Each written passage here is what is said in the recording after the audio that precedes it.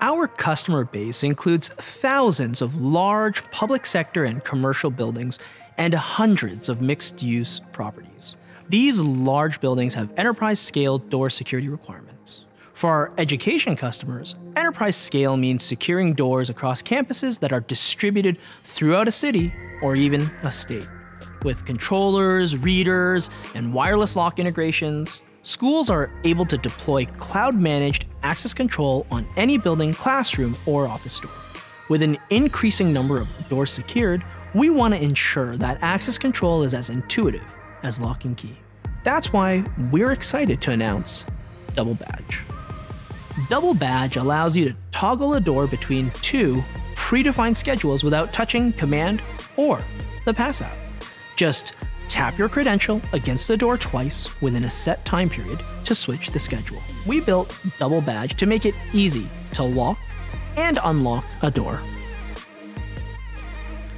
Buildings like office complexes, hospitals, and mixed use commercial campuses often have hundreds of video intercoms that route to a central receiving station or a SIP phone directory. We're pleased to announce two new features to streamline intercom call receiving, concurrent calling, and shared call lists. These features are especially valuable for organizations that manage security from a central location. Concurrent calling allows operators to handle multiple calls from command simultaneously. In a SOC use case, operators can now view multiple calls on one screen. Concurrent calling allows receivers to place calls on hold and respond to a second call from the same interface. We're also proud to launch shared call lists. Shared call lists allow organizations to easily configure and maintain dozens of intercom devices through one receiver list that ensures consistent calling.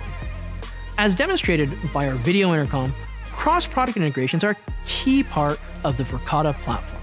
Furthering our cross product capabilities, we're excited to announce person of interest alerts on access users we have streamlined the ability to create a person of interest alert from Verkada Access Control.